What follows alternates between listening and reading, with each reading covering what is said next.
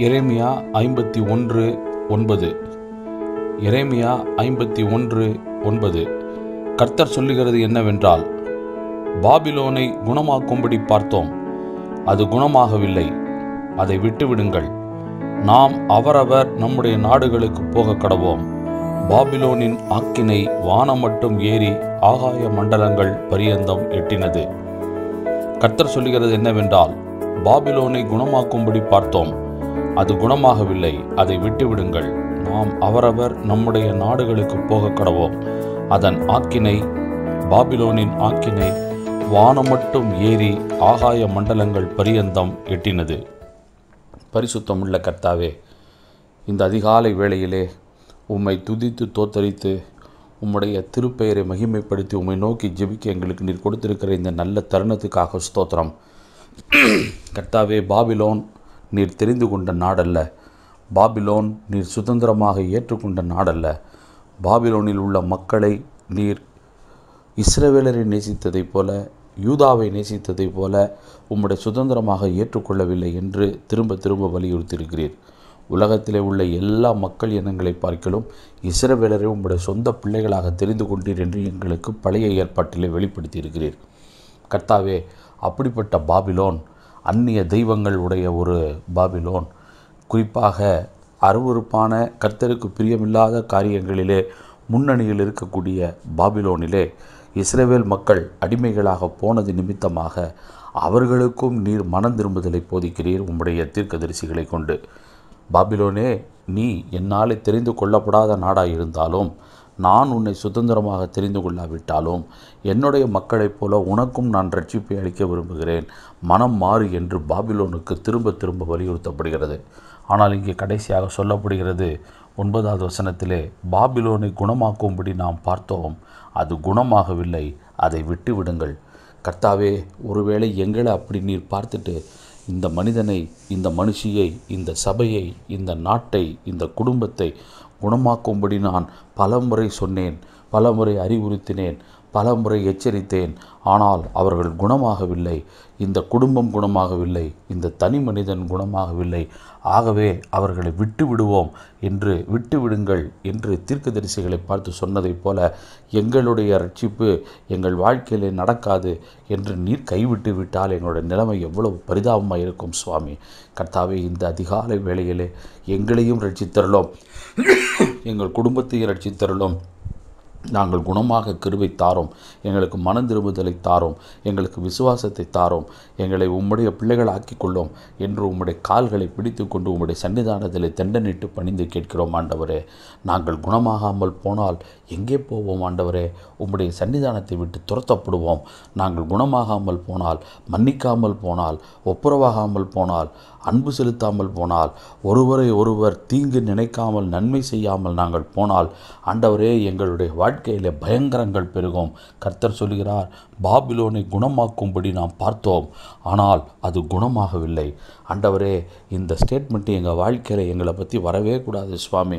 இவனை எவ்வளவோ முயற்சி பண்ணி பார்த்தேன். எதற்கும் சரியில்லை. ஆகவே விட்டு விடுவோம் என்று சொன்னால் எப்படி இருக்கும் சுவாமி? நாங்கள் சிறு பிள்ளைகளாக இருக்கும் பொழுது எங்களுக்கு இருந்த ஸ்கூல் டீச்சர்ஸ் எல்லாம் நாங்கள் நினச்சி பார்க்குறோம் சுவாமி. இங்கிலீஷ் கிராமர் கற்றுக் கொடுப்பாங்க. எங்களுக்கு கணக்கு கற்றுக் கொடுப்பாங்க. எங்களுக்கு நிறைய ஃபார்முலா கற்றுக் கொடுப்பாங்க. ஆண்டவரே அதை கற்றுக் கொடுக்குறப்போ எங்களுக்கு சரியாக புரியலன்னா திரும்ப திரும்ப உட்கார வைத்து எங்களை மரத்தடி மணலிலே உட்கார வைத்து காதுகளை திருதி எங்களுக்கு பலவிதமான தண்டனைகளை கொடுத்து மணலிலே முழங்கால் போட வைத்து சொல்லும் வரைக்கும் எங்களை விட மாட்டார்கள். அதை திரும்ப திரும்ப டெஸ்ட்டு வச்சு கொண்டே இருப்பாங்க. எப்படி தான் அவங்களுக்குலாம் அப்படி நேரம் இருந்துச்சுன்னே தெரியல கர்த்தாவே. எக்ஸ்ட்ரா டைம் பார்த்துக்கிட்டே இருப்பாங்க.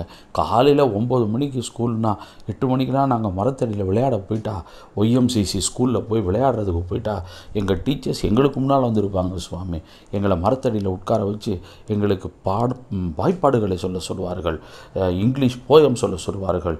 ஏபிசிடி சொல்ல வைப்பார்கள். எங்களுக்கு அவ்வளோ ஆச்சரியமாக இருக்கும். இப்போ நினச்சி பார்த்தா அப்படியெல்லாம் நேரமே இல்லை ஆண்டவரே. ஒம்பதுனா ஒம்பதுக்கு தான் போகிறோம் அஞ்சுனா அஞ்சுக்கு தான் வரோம். அப்படி ஒரு காலத்தில் ஆண்டவர் இவனை எப்படியாவது படிக்க வைத்து விட வேண்டும். இவனை எப்படியாவது இந்த ஃபோர்த்து ஃபிஃப்த்து சிக்ஸ்த்துலலாம் நல்ல மதிப்பெண்கள் பெற்று தேர்ச்சி பெற வைக்க வேண்டும் என்று டீச்சர்ஸ் முயற்சி எடுத்துக்குவாங்க. இந்த பையன் லாய்க்கு இல்லை இவன் படிக்க மாட்டான் இவனை விட்டு விடுங்க அப்படின்ற வார்த்தை வந்து டீச்சர்ஸ் வாயில் வந்ததே இல்லை. எவ்வளவு ப புத்தியில் பின்தங்கிய மாணவனாக இருந்தால் கூட மாணவியாக இருந்தால் கூட அவங்கள முன்னேற்றுவதற்கும் முயற்சி செய்வார்கள். இதோ இங்கே சொல்லப்படுகிறது பாபிலோனை குணமாக்கும்படி பார்த்தோம். அது குணமாகவில்லை இவன் படிக்கவில்லை. ஆகவே விட்டு விடுங்கள் இவன் சிக்ஸ்த்தில் அல்லது ஃபிஃப்த்தில் ஃபெயிலாக போனால் போயிட்டு போட்டோம் அப்படின்னு டீச்சர்ஸ் விட்டதில்லை சுவாமி. கூப்பிட்டு சொல்லுவாங்க நீ எப்படியாச்சும் படித்து ஒரு டென்த்தை முடி எப்படியாச்சும் படித்து எஸ்எஸ்எல்சி முடி ப்ளஸ் டூ முடி உனக்கு வாழ்க்கையில் நன்மை கிடைக்கும். ஆண்டவரே இந்த உலக வாழ்க்கையில் ஒருவேளை நாங்கள் டென்த்தே பாஸ் பண்ணனா கூட வாழ்ந்துடலாம் சுவாமி. ஒருவேளை நாங்கள் ஸ்கூலிங்கே முடிக்கலன்னா கூட ஏதாவது ஒரு வேலையிலேருந்து வாழ்ந்துடலாம் சுவாமி.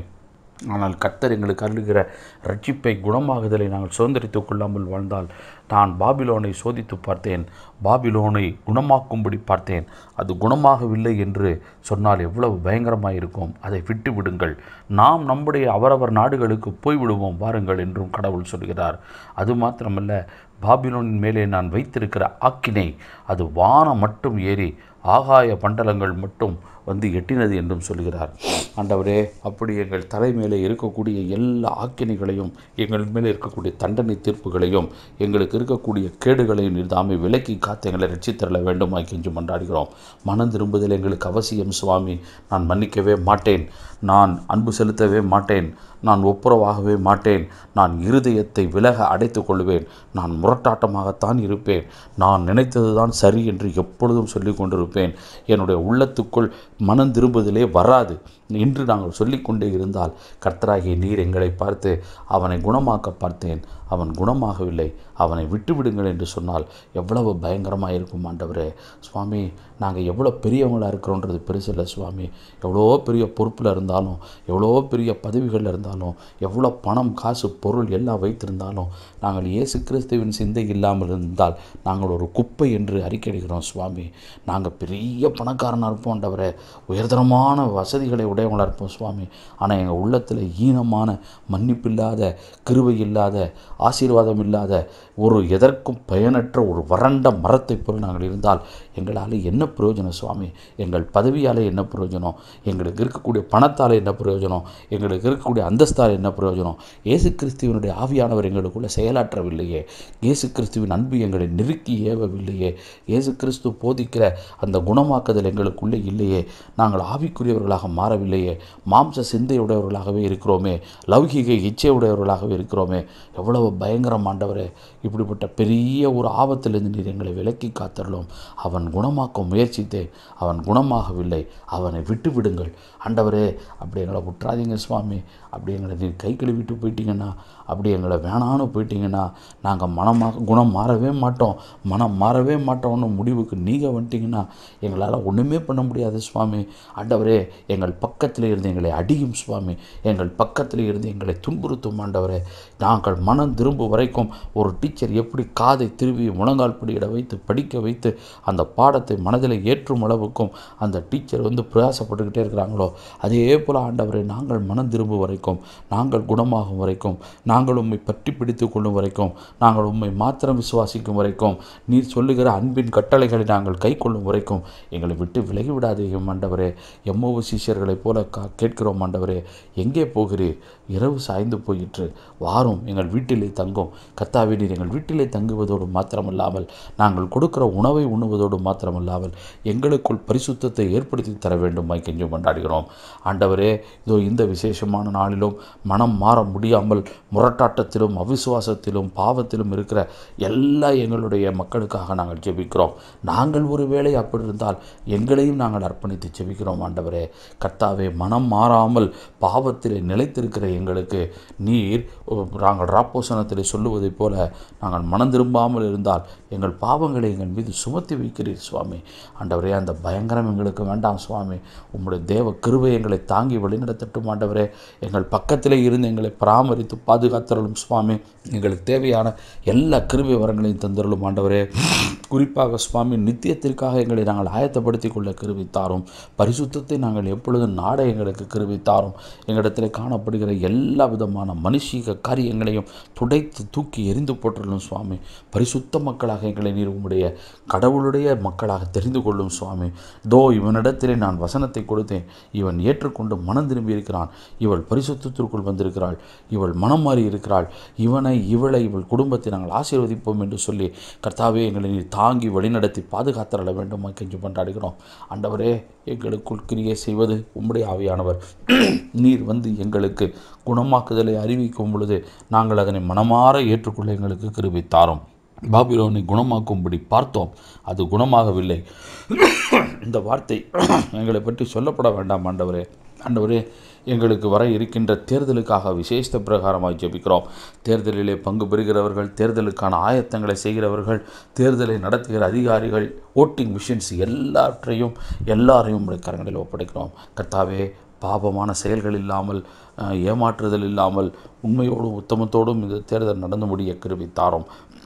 அதே போல் ஆல் பாஸ் ஆகியிருக்கின்ற நைன்த்து டென்த்து லெவன்த்து டுவெல்த்து பிள்ளைகள் டுவெல்த்து எக்ஸாம் எழுத போகிற பிள்ளைகளுக்காக நாங்கள் ஜெபிக்கிறோம். ஒவ்வொருவரையும் எழுதாமையும் ஆசீர்வதித்து அவர்கள் நல்ல முறையில் கல்வி கற்று கடவுளுடைய பிள்ளைகளாக இந்த உலகத்திலே நல்ல ஜீவியம் செய்வதற்கு அவர்களுக்கு கிருபை தாரும். ஒவ்வொருவரையும் பேர் பேராக ஆசீர்வதித்திருளும்.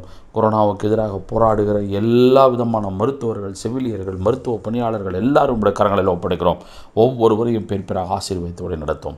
இயேசுவின் திருப்பெயராலே எங்களையும் எங்கள் குடும்பங்களையும் உம்முடைய நல்ல கரங்களிலே தந்து ஜெபிக்கிறோம். ஜீவனுள்ள பரமபிதாவே. அமேன் நம்மோடு கூட இருந்து நம் பக்கத்திலே இருந்து நாம் குணமாக வேண்டும் என்று பல வகைகளிலே நமக்கு அறிவுரை கொடுத்து நம்மை நெறிப்படுத்தி ஆசீர்வைத்து வழிநடத்தி பராமரித்து பாதுகாத்து நாம் குணமாக வேண்டும் என்று அவளோடு நம்மை எதிர்நோக்குகிற பிதா குமாரன் பரிசுத்தாவிய கடவுளுடைய அன்பும் கிருபையும் பாதுகாப்பும் வழிநடத்தலும் ஆசீர்வாதமும் கர்த்தர் தருகிற சமாதானம் சந்தோஷமும் நம்மோடு நம்முடைய குடும்பத்தோடும் இருந்து நம்மை ஆசீர்வதித்து வழிநடத்தி பலப்படுத்தி கர்த்தர் காப்பாராக. அமேன்